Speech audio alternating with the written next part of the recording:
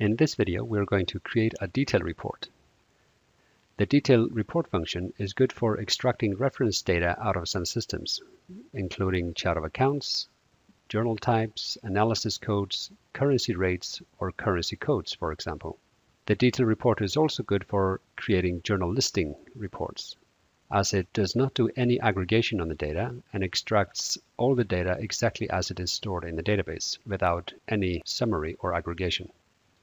When creating reports, it's a good idea to leave a little space at the top of the report and to the left of the report so that we have some space for headings and our filter parameters.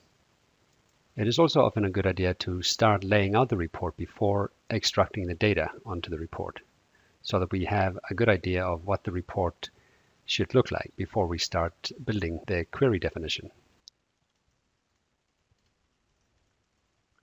In this example, we're going to create our chart of account listing report and we're going to use our own formatting. So we are going to specify all the column headings that we would like to see on our report, including account code, account description, lookup code, account type, and status. Then to the left of the report, we're going to have some filter parameters, including a business unit, account from, and account to, account type, and status.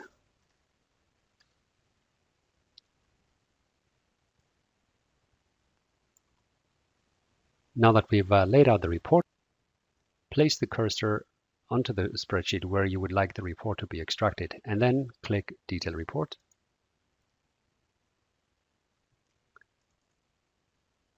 Specify the business unit and the table.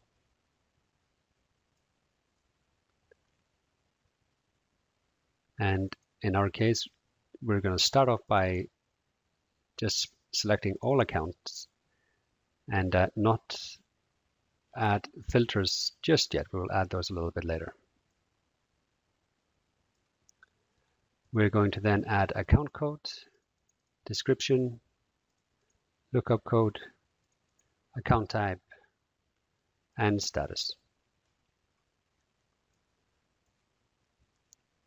Now by default, the um, auto formatting is applied. So on the report style tab, we would like to uncheck width because we want to control our own column widths. We also do not want to apply any formatting, so we're going to uncheck uh, auto formatting. We are using our own column headings, so we can uncheck output data item names. And since this is an account listing report, we do not need report totals, so we can uncheck totals. Click OK to extract the report. The account type and the status are extracted with a code rather than a description. So we would like to change that. And to do that, we need to change the extraction type of those items. So find the cell that contains the query definition formula and double click on it.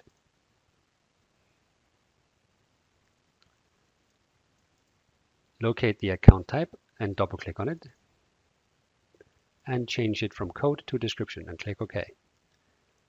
And do the same with status. Double click on it and change it from code to description and click OK. And then re-extract the report. We can now see that uh, the description is being output for both the status and the account type. I'm going to resize our columns here and our report is now starting to take some shape. What we want to do now is to add the filter parameters onto the worksheet and then link them to the query definition. And we had already put in the uh, filter items that we wanted to filter on, and now we have to specify uh, default parameters so that we can link them to the query definition. So we're going to type in a business unit account from and to, account type, and status. If you are not sure what the default values are for the filter parameters, you can always type in all with uh, a back arrow and a forward arrow at the end and then correct it later once you are inside the query definition.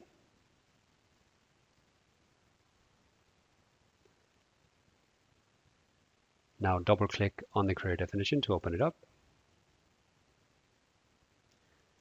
And we are now going to link the uh, filter items to the parameters on this spreadsheet. So click on the business unit filter item and highlight the existing value and then simply single click on the um, business unit parameter on the spreadsheet. And you can see that the uh, filter from value is now highlighted in yellow and uh, set to C6.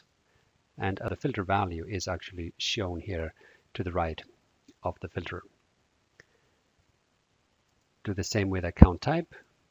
Click on it and then single click on the value and you'll see that uh, the value is brought back onto the query definition and now it's linked. And we're going to repeat it and do the same thing for account code. Single click and you notice how once I move the cursor into the 2 field, the value from above is copied into the 2 value. Simply highlight it and then click on the account 2 to map it to that value. So we now have C7 to C8. Click OK again to extract the report. And no data is found. And this is simply because our parameters are now working. And so we need to change those to get um, some data returned. So we're going to change this to all, simply extracting all account codes but all balance sheet type account codes that are open. So to refresh our report, we do not need to go back into the query definition. We can simply click recalculate from the Infor BI Q&A tab. And we now see that the report is uh, re-extracted based on our filter parameters. What you can do now is, since the uh, filter parameters on the spreadsheet are linked to the query definition, you can double click on the cell to open up the lookup list for that filter item.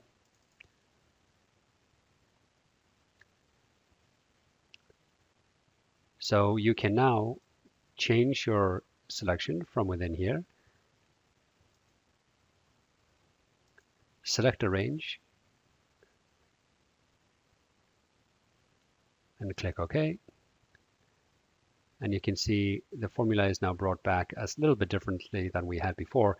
It is um, prefixed with the two back arrows to indicate a non-contiguous range of items. Let's double click again to go back in here again. And if we select a range, again, you can hold down the shift key to select a range of items and you can hold down the control key to select a non-contiguous range of items. And you can also use shift and control to further refine your selection.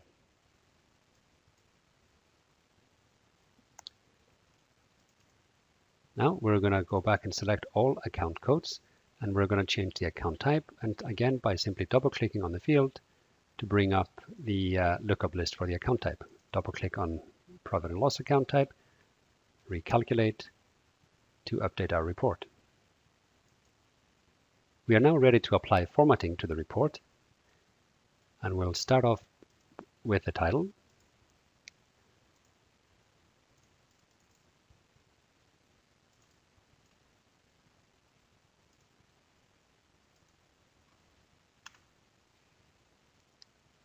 Apply some formatting to the column headings.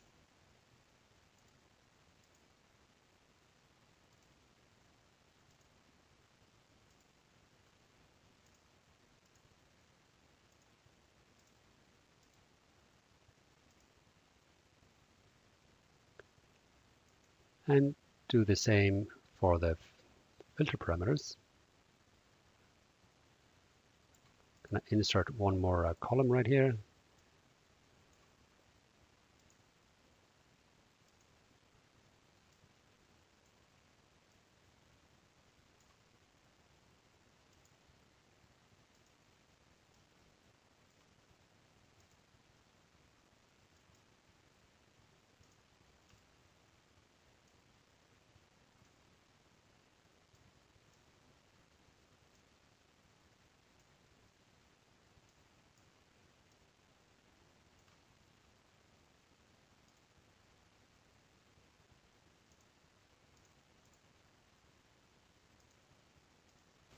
And we'll continue with applying some additional formatting.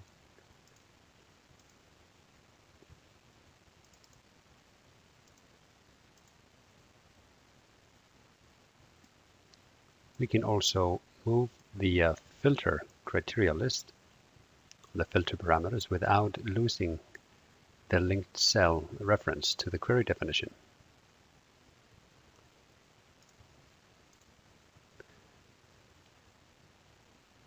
We're also going to remove the grid lines from the report to give it a slightly cleaner look.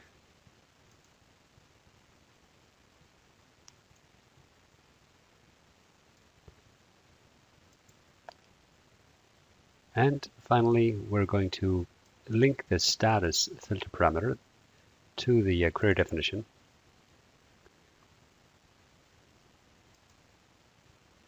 So we need to simply locate the status field drag it into the uh, filter box, and then single click to link it. Click OK again.